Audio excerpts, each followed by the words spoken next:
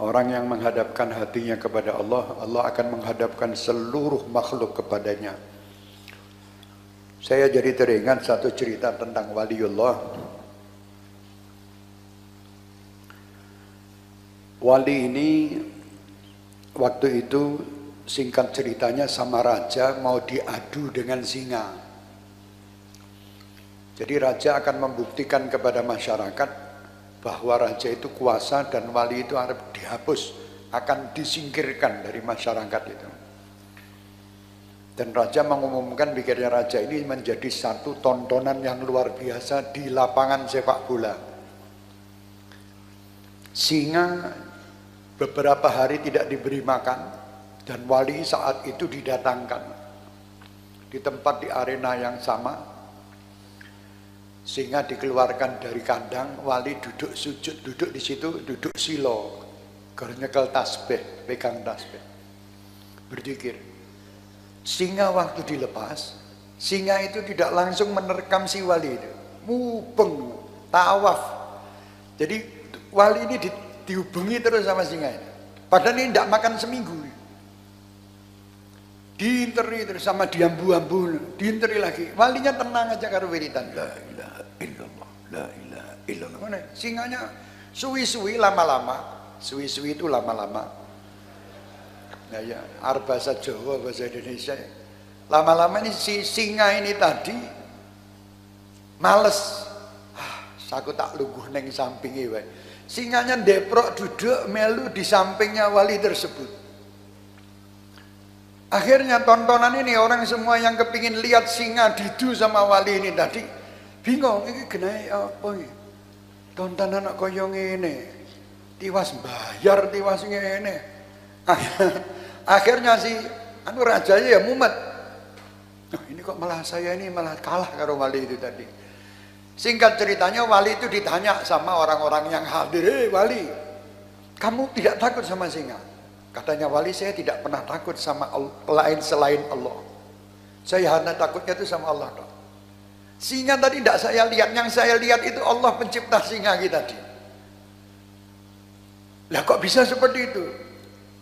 Terus singa itu istilahnya nih ditakoni singa nih, eh singa, kamu kok tidak menerkam kamu seminggu luwe loh, luwe. Kenapa kamu tidak makan orang itu tadi wali itu? Bagaimana saya mau makan ambune iki ora nek ambu nafsu blas. Mudeng. Keringetnya waliullah, keringetnya orang yang bertakwa itu tidak merangsang singa tadi untuk makan. Beda karo keringetnya awak dhewe. Keringet kita ini tikus iki kepengin nyedak, dadak singa. Kata tikus ini makanan empuk makanan empuk ini. Keringet kita banyak maksiat. Jadi orang yang takwa ini tadi dihadapkan dengan singa yang begitu buas dan lapar tidak menerkam dia. Karena Allah menghadapkan pula manut karwe seperti Sayyidina Umar tadi. Singa itu manut. Nah, jadi wong-wong sing takwa jangan pernah takut. Semenjak kalian menjalankan perintah Allah, kalian menjauhi larangan Allah, jangan takut sama apa pun. Takutlah kita hanya kepada Allah Subhanahu wa taala. Kalau kita takut sama Allah, kita betul-betul menjalankan takwa dengan arti makna menjalankan apa yang diamalkan termasuk tadi menjauhi semua yang maksiat yang subhat kon ngedoi. Cerita subhat terakhir nanti habis ini Ustaz Ansori fikih. Cerita subhat itu ada Al Habib dulu di Solo. Al Habib Hasan Al Habashi. Ayah daripada Al Ustadz Bagir di Gajahan. Sini, Gajahan Gunung gue. Beliau punya saudara Habib Atas Al-Habsyi yang ada di Mekah. Waktu mendapat kiriman baju dari Solo ke sana Habib Atas ini, dapat kiriman baju, sing ngirimi dulure, saudaranya. Sampai ke sana kiriman baju itu ditanya surat dulu. Tidak ada WA, tidak ada SMS zaman dulu. Sekarang kan WA langsung sampai ini tidak ada, surat dulu baju dipegang, surat wahai adikku atau wahai saudaraku, kakakku adikku saya kurang paham, saudaraku, dari mana kamu dapatkan baju ini? Dikai hadiah nih. Beli di toko mana? Beli pakai uang bagaimana? Ditanyakan sampai detail. Itu nek saya yang ditanyai, oh, dikai data kakek ngomong. Kan ngono Itu orang sekarang. Tapi ini orang-orang yang betul-betul takwa sama Allah dan takut sama hal-hal yang syubhat. Jangan sampai baju ini nempel ke tubuhku sedangkan baju ini hasil syubhat yang meragukan. Orang biyen ini kaya ngono hati-hati nih. Makanya macan pun sing luwe tidak berani makan. Macan yang lapar tidak berani makan karena dia menjaga aturan Allah. Kalau dia menjaga aturan Allah, Allah akan menjaga dia. Lah kita tidak pernah menjaga aturan Allah. Yang kita jaga malah aturan-aturan orang-orang yang tidak jelas. Aturan Allah tidak pernah dijaga, akhirnya ya seperti ini. Banyak jumlahnya tapi seperti buih. Terombang-ambing ke sana sini tidak pernah tahu kejelasannya. Al-Habib Abdullah bin Alwi al-Haddad ketakwaan yang kuat.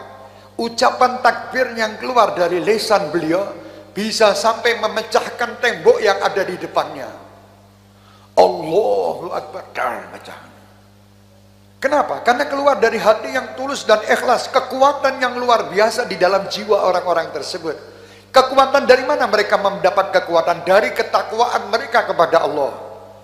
Kalau sudah mereka menjalankan ketakwaan ini dengan benar, Allah pasti akan menjaganya pula. Allah tidak akan menyia-nyiakan hambanya. Tidak akan disiakan. Sebesar mana kamu menghadap kepada Allah, sebesar itu pula Allah memerintahkan semua makhluknya menghadap. Sebesar itu pula Allah menjaga kita. Jadi kita tidak pernah anu, usahakan setiap kita bekerja, setiap kita keluar dari rumah menjalankan perintah-perintah Allah tadi dengan baik. Seperti yang kita lihat di zaman ini orang lebih mementingkan dunianya daripada akhirat. Di antaranya tadi yang sudah disebutkan Ustaz Muhammad tadi, bagaimana orang kerja di tempat misalnya di satu perusahaan jadi satpam kerjanya Jumat, jadi satpam tidak Jumatan. Kira-kira gimana, Beb? Yo jangan kerja. Loh, enggak itu enggak bisa makan. Lah kowe iki urip sing kaya urip kowe sapa kok enggak bisa makan itu piye Kamu bayi dulu tuh ngerti kerja ndak? Waktu kamu ngowak-ngowek ngowak-ngowek iki kira-kira dadi satpam ora? Kan kamu cuma turu tok lah. Kerja ndak tidur tok gor nangis yo mangan buktine. Ada bayi terus datang jalan nglunduk-lunduk neng kelewer ngono dadang ora enak. Cuma nangis eh mbok langsung nyusoni. Eh mbok langsung kayak gitu. Lah kamu tinggal minta sama Allah. Lah kenapa kamu harus memaksakan diri kamu kerja jadi satpam dan kamu tidak Jumatan sedangkan Jumatan wajib bagi dirimu? Terus bagaimana? Ya tinggalkan. Kalau tidak ya ngomong sama bos. Bos, minta maaf berhubung saya ini orang Islam. Kalau bisa nanti tugas yang menjaga siang hari di waktu Jumatan. Kami mohon buat di, dioper wong sing ora Islam. Apa wong wedok. Kan tidak wajib Jumatan toh. Insya Allah dikasih nek bosnya waras. Kalau bosnya memang tidak boleh ya tidak apa-apa kamu keluar rojo demo.